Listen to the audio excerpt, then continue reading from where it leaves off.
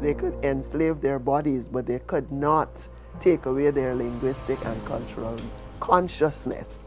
So she taught me her knowledge that was passed on from her grandfather to her. You're dealing with healing, right?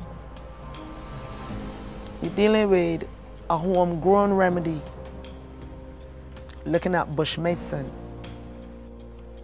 Unfortunately, I think that a lot of this knowledge is being lost. It was like a bell ringing for me. Uh, something has to be done to stop this leakage. Bush!